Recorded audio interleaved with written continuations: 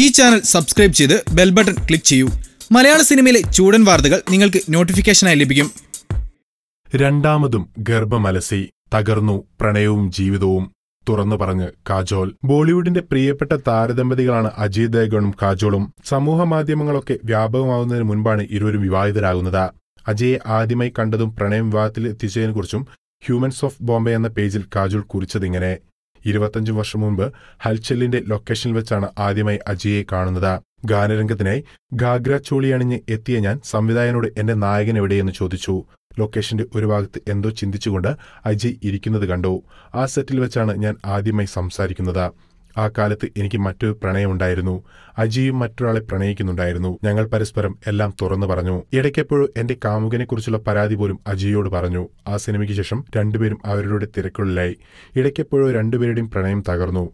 ഞങ്ങൾ കാണാറും സംസാരിക്കാറുമുണ്ടായിരുന്നു. എന്നാൽ പ്രണയമാണെന്നോ ഇഷ്ടമാണെന്നോ ഒരിക്കലും അജി പറഞ്ഞിട്ടില്ല.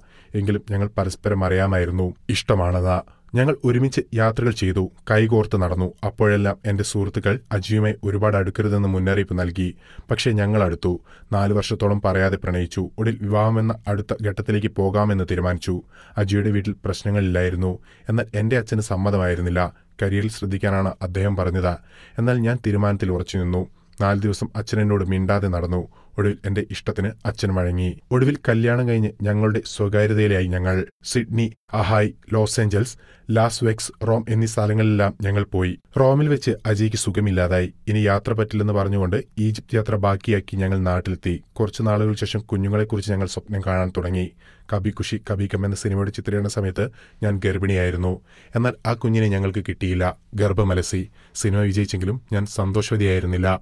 രണ്ടാമത്തെ തവണയും ഗർഭമലസിയോടെ ഞാൻ മാനസികമായി തകർന്നു. അപ്പോഴെല്ലാം എന്നെ ചേർത്ത് നിർത്തിയത് അജിയാണ്. രണ്ടുപേരും ഒരുപോലെ ദുഃഖിതരായിരുന്നു. എന്നാൽ ആ കാലത്തെയും ഒരുപോലെ ഞങ്ങൾ അതിജീവിച്ചു. നൈസ യുഗ് എന്നീ രണ്ടു കുട്ടികളുടെ മാതാപിതാക്കളാണ് ഞങ്ങൾ.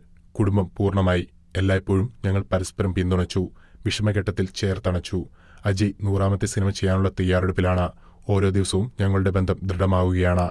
എങ്കിലും ഇപ്പോഴും ഞാൻ ആ നടക്കാതെ പോയ ഈജിപ്ത് യാത്രയെക്കുറിച്ച് പരിഭവിക്കാറുണ്ടെന്നും കാജോൾ കുറിച്ചു. ഈ ചാനൽ സബ്സ്ക്രൈബ് ചെയ്ത് ബെൽ ബട്ടൺ ക്ലിക്ക് ചെയ്യൂ.